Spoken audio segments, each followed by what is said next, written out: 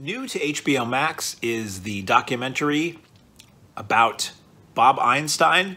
You probably don't know the name, but you know the face.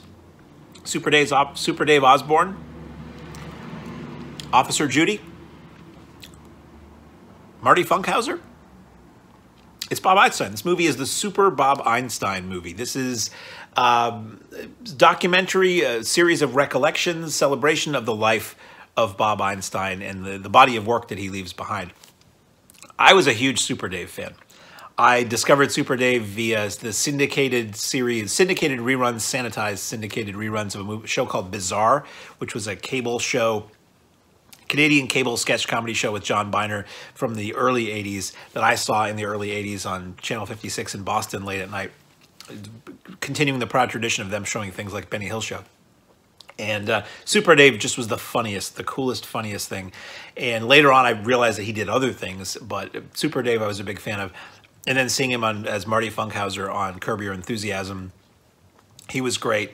Anytime he was on a talk show, it was great. So what I just did is mostly what this movie is. This is is is the, the tale of the life of Bob Einstein, brother of Albert Brooks, uh, son of the comedian known as Parkyakarkus, and you get recollections from Bob Einstein's two brothers. You get recollections from his family, his grandkids, uh, everybody who ever worked with him. It's it's a star-studded collection of people telling funny Bob Einstein stories and just talking about how great he was. So it's not this in-depth documentary, but it does put up it does present a lot of really cool rare footage that I hadn't seen.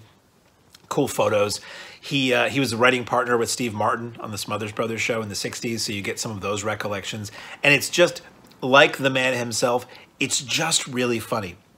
It's really funny, occasionally extremely dirty, because apparently he liked to just drop really, really crude uh, terminology or crude jokes at the drop of a hat just to get a rise out of people and to shock people.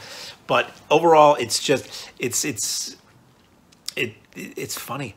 You know, I, I, there's not a heck of a lot for me to say about that. If you were wondering if you like Bob Einstein, yes, you should watch this.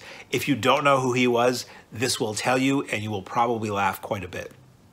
It's got it's loaded with clips, some of which I have seen, some of which I've never seen, all of which I uh, am very glad were in there, and uh, a little surprised at who some of the uh, commentators were, just in terms of it's like star-studded. But I guess when you're that cool and funny and have that many friends who are famous, they're willing to show up and, and, talk about how great you are after you pass away.